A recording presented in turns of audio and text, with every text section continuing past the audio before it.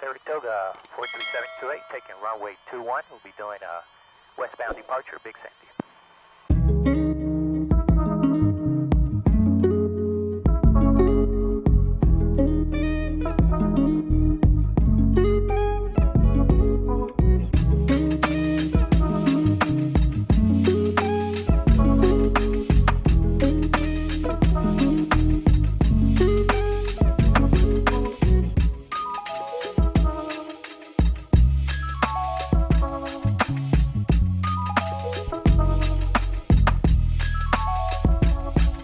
Airspeed is alive.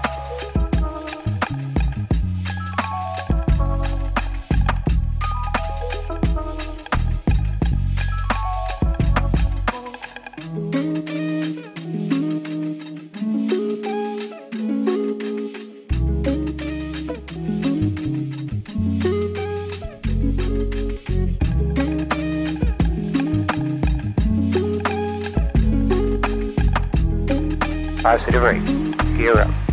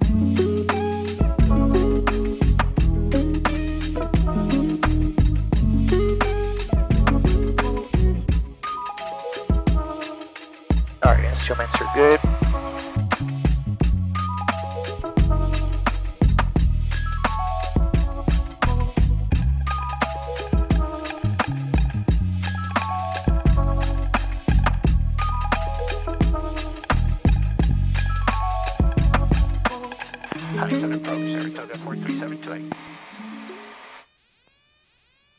Saratoga 43728, Huntington approach, Huntington altimeter 3005. 305. We just departed Big Sandy Airport, and uh, we have a IFR flight plan to Mike Hotel Lima. I'd like to pick that up. Number 728, roger. Maintain VFR, Slot 6642. 6642, 43728. Saratoga 728, radar contact 2 miles northwest of Big Sandy Airport, flood to Mike Hotel Lima Airport as filed, on and maintain 10,000. Clear to Mike Hotel Lima as filed and climate maintain 10,000 43728. Saratoga 728, read back, correct, stay altitude leaving. We're leaving uh, 3,700 43728. 728, right, thank you. All right, we're climbing to 10,000. All right, all instruments are looking good. Temperature's normal. It's amazing how this airplane climbs, son. Yeah. All right, 9,000, 1,000 to go. All right, we reached 10,000. All right, guys, so here we are, heading back to Denver. I'd like to welcome all of you to the channel, especially my new folks. Uh, I'm getting new people every day subscribing, and I appreciate you guys very much. This is uh, the channel for you if you're into aviation. Pretty soon, maybe. I don't know. I'll just say maybe. It'll be the channel for you, too, if you want to talk about country living and stuff like that, because uh, that's what this trip was for. We're actually looking for a property in the country uh, so we can kind of get away from uh, the city life in Denver from time to time. So here's the view. Right now, uh, right now we're flying at uh, 12,000. 15 left. That's the beauty about this turbo Saratoga is you can climb high. Yes, sir. So yes, folks, so we are. There are those guys back there. Isabel sleeping, sleeping as always. I don't know how we'll do it. We may open another channel for this uh, for the country property. I, I sort of always wanted to do a uh, like a getaway type of channel where we get away from the city into the country, and then also uh, you know we do want to raise chickens. Think you want to raise chickens too, right, son? Yeah. So we went to uh, Dallas in the uh, suburbs. and uh, they have an uncle that has a ranch just outside of the city, and he's got animals and chickens, and they played with the chickens and loved them. So they've been wanting me to get chickens, but you know, in Denver, you know, they don't let you get chickens. Uh, you'll have you'll have neighbors complain. But uh, but yeah, in the country, yeah, it's uh, fair game for chickens. So I've always wanted to do that. People are really great in uh, Kentucky, very friendly. They have the southern hospitality. 3,800 for, uh, not sure, but anyway, uh, like. But I really like that area. When I uh, Mike. when I was raised in Jacksonville, uh, I used to go up to North North Carolina quite a bit, November uh, 7, Romeo Victor Verify, up into the mountains, and uh, and I've always liked those hills up there. Very nice. November 7, Romeo Victor Roger, what's going to be your cruise altitude? I'm not sure when I'm going to post this video, but Kentucky went through some floodings, some very bad floodings, and we were just north of where some of some of those bad floodings uh, occurred. Feel bad for those folks down there. They've gone through a lot. Change our timer here. I try to do 30 minute intervals on the uh, fuel tanks. and Then I have a timer here to time it all out. My helper's back there with his sister, so Yep. November uh, 7, Romeo Victor. squawk he can't really help me much now. GPS 2009 is entered to maintain Especially in the- on the radios doing IFR. Javier's really good on the radios now, and he works the radios for me. GPS 2909, expect carrier He also flies the, uh, airplane. Yep. We have an hour and 57 minutes remaining. And one thing that I'm concerned about is uh, these storms here ahead. So we're going to stop just before these storms here. And uh, I was thinking about deviating to the uh, south and maybe stopping somewhere around here, but I don't want to do that just yet. I think what I want to do is uh, we'll go ahead and land. And once we land, the storms are pretty far away from uh, from Marshall, where we're going, our first stop. So what we'll do is uh, when we land, we'll check the radar. Number 47, Romeo Victor, But chances are that we'll probably just maybe even follow another flight plan to another airport, or we could just deviate to the south of these storms so we can bypass them. But we'll know a little more once we land. We'll see. So what we're going to do, my plan is, once we get to Marshall, which is right there, then we're going to fly to Centennial. Uh, but before we get to Centennial, we're going to make a stop at Lyman. The reason why is because look at this fuel price down here at Lyman. Last I checked, they were at uh, six something, but they they went down to 579. So we're gonna we're gonna take advantage of that because over where I'm at, it's actually 714. So it'll be a good fuel stop. It'll save us uh, some money on some fuel. Since we're heading in that same direction, might as well stop and fill up the tanks. So that's our plan. My big concern is not knowing what how things are going to prevail. Our fuel price is going to continue skyrocketing. It seems like they've sort of calmed down now. And again, I'm not sure when I'm going to post this video. My assumption is maybe a month or so from now. So right now it is August 3rd, so I'm not sure when I'll, when I'll post this video. But that's my concern. My concern, my concern is fuel prices. I looked up Lexington, which you can't compare Lexington, a bigger city, with a smaller town, but Lexington, Kentucky showed like 30% less expensive than Denver, Colorado. So I would imagine that being in the country is probably more so like, you know, maybe 40% less expensive, and that's that's pretty significant. So uh, if you can make something in the country for yourself, that'd be that'd be pretty awesome. So that's what this trip was about, guys. We are cruising back to Denver, but that's one of my dreams and my goal is, you know, to have a, a country lifestyle and fly out there in the country, man, where it's pretty fun and we can have a good old time and relaxation. Like I said, the kids love it. There's no doubt about that. So let's check our oxygen level. I've been hanging uh, around 95 to 94, so that's really good. 43728, contact Kansas City Center, 127.47. 127.47, 43728. Have a great day. Right now, a lot of things are pretty sketchy.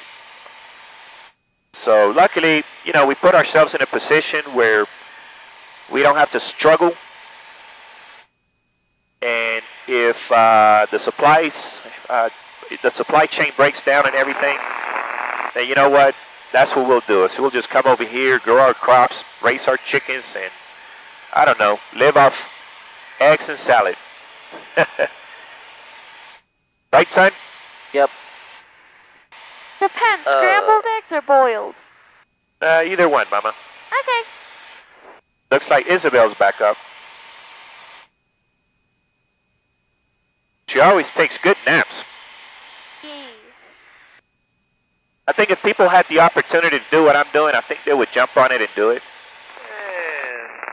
Thunder, this is uh, King Air 9 Air back A lot of people are actually King Air 9, actually escaping to these country places. It's hard to get a country home nowadays because everybody's jumping on it.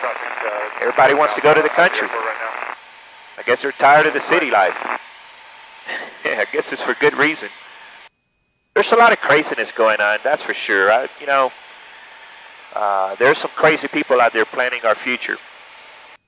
I'm just kind of tired of city life myself. But uh, we'll see. We'll see what happens. All right, guys, so here we are on the map, and we are passing St. Louis, Missouri. There's the look out of this window. But the good stuff is over here. Here's the city. And the airport is just straight ahead over there. Yes, sirree. St. Louis, Missouri. So we're getting closer to our destination. Have about an hour and three minutes remaining. See how they're doing back there. 359, contact Kansas City Center, 127.27. Isabel still sleeping? 727, Yeah. November 6, Kansas City Center, 127.47. Yes, sirree. There's downtown.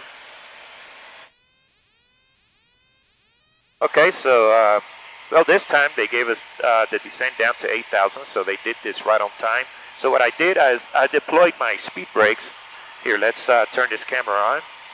So there you go. Those, those are the speed brakes. Those uh, red things you see popping out of the wing. And here are the, uh, that's the control for it right here, that little button there.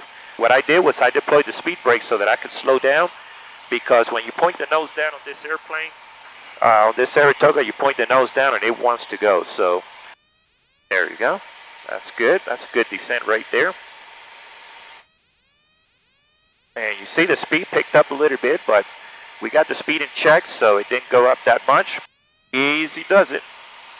When you're ready. All right, we can take the oxygen out now since we are getting to 11,000. Or 56. So there you can see it picked up speed just like that. And we have the speed brake sign, and our power is at uh, 20 inches. And that's how quick this airplane picks up speed. And got my checklist up here. So if you notice a lot of time I got my checklist here as well, this book here, but I prefer to read it up here. It's just easier for me. So I've got my takeoff and landing checklist. So a lot of times if you don't see me with the book, then it's because of that. Now, normally when I'm landing, I use this because less distraction for me. So this is easier. Uh, but uh, but if I'm taking off, I usually just use my, my book on takeoff because I'm not in a big hurry for taking off. 11, Mizzou approach, uh, heavy here. All right, fuel is on the right tank, and that's the one with the fullest. So we'll leave it there. We've got our landing lights on, anti-collision, and landing uh, lights in the wings on as well. Descending down to 3,000. All right, so 268, then 178. Saratoga 728, clear direct Godspeed. Direct Goxie 43728, thanks, sir. All right, we're direct doxing. So we're not in instrument conditions right now, but uh, it'll be good practice. All right, we got our checklist done. The only thing we need is mixture, prop, and the fuel pump. Everything else is on. And then as we get closer to our fix, we'll deploy the flaps and remove the speed brakes. And we don't really have to uh, remove the speed brakes. Uh, you can leave them on if you really want to. They work really well also on turbulence. Gives you better loading on the wing to handle turbulence. And when there's crosswinds, you know, I'll leave them on because uh, it'll plant the airplane down really good and keep the airplane on the runway. So there's good uses for the speed brakes. Not to be confused with spoilers. All right, we've been clear for the approach. Cross Marshall at 3000 and we're at 3000 right now. All right, we've got our glide slope coming in. Flight 474, squawk 5147. 147, flight 474. Saratoga 728, is this be a full stop? 728, this will be a full stop, yes sir. Saratoga 728, report cancellation of IFR, this frequency on ground Columbia radio, chance of frequency approved. Advisory's approved, and we can go ahead and cancel now. We got the uh, runway in sight, 43728.